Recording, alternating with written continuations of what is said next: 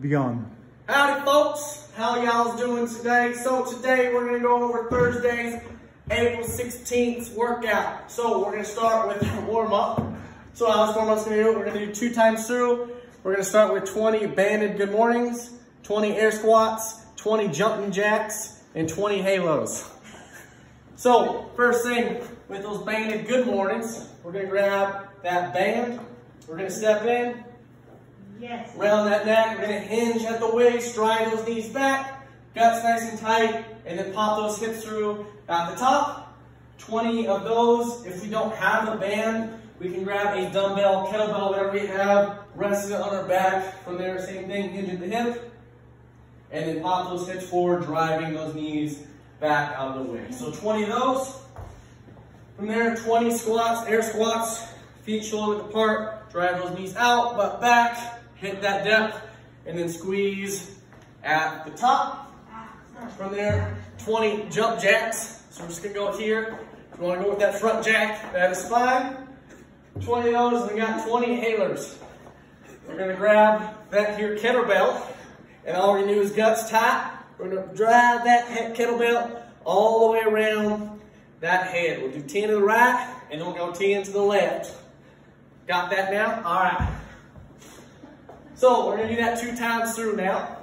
From there, for our workout for today is we're gonna do 42, 32, 18 reps of push-ups, sit-ups, and walking lunges with a little bit of weight.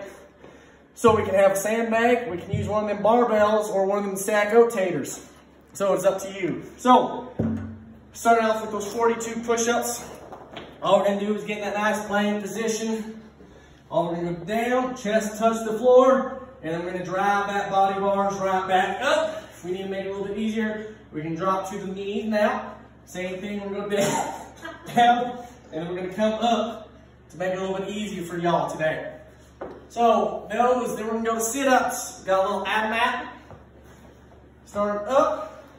All we're gonna do is touch down, shoulders touch the ground, hands touch. Come up, we're gonna touch your toesies, and we're gonna make sure our hip skis cross that perpendicular path through the floor now. So we're here, down, and touch for those reps. Next now, we got some walking lunges with a little bit of weight. So if we have a barbell, you grab this little guy right here, and then all we're gonna do is walk into the lunges. When we do this, we're walking forward, trying to keep that knee uh, vertical with our ankle. We're not trying to lean too far forward on our toes or too far back. So we're right on that heel, drive back, and back up from there. So that is the first part for the stimulus. We're looking for about 15 to 17 minutes. It shouldn't take longer than I would say 20 minutes for this first part. What we're looking for is kind of constant movement. So we're moving throughout the whole workout with short rest. So if we have to break it up, that is perfectly fine. Scaling options, we can drop down the reps. Nothing's too technical, so a good one would be maybe 35, 25, 15 reps. Through, for those lunges, if we don't, or we're not able to do weight, we could just do body weight lunges where we're just walking with our body forward and back for those reps, or we can grab our sack rotators, throw that on our back if we don't have any equipment. So that is the first part. Once we are done with that, once we are done with our 18 lunges, we're gonna rest two minutes, and we're gonna go to our second workout of three rounds, 15 jumping lunges, into a 50 foot quadruped walk.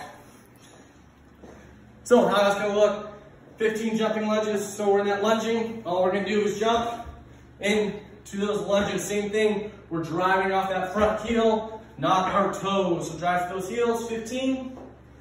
And then that quadruped walk. So how that's looking, I'm sure nobody's here's done these.